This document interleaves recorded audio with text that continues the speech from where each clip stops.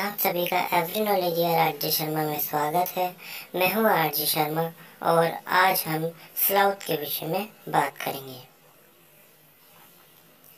यह दक्षिण व मध्य अमेरिका में पाया जाने वाला एक मध्यम आकार का स्तनधारी प्राणी है।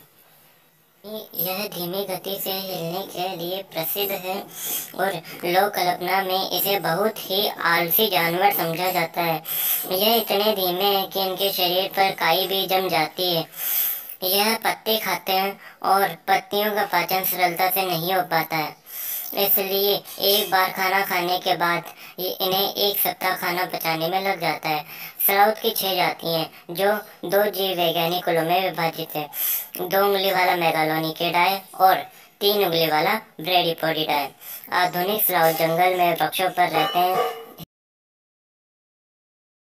हालाँकि अतीत में इनकी समुद्र में तैर सकने वाली जलीय और हाथी जैसे बड़े आकार की धरती पर घूमने वाली जातियाँ भी थी, जो हज़ारों या लाखों वर्ष पूर्व विलुप्त हो चुकी हैं।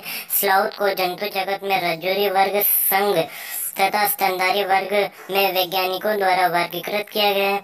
स्लाउथ पिलोस नामक जीव वैज्ञानिक में शामिल है, जिसमें जीटिकोर भी आते हैं, यानी स्लाउथ और टीटीखोर का अनुवंशिकी जेनेटिक संबंध है। आपको आज की जानकारी कैसी लगी, ये मुझे कमेंट कीजिए। वीडियो अच्छी लगी है तो लाइक कीजिए। एवरी नॉलेज ये राजेश शर्मा को सब्सक्राइब कीजिए। Thank you for watching.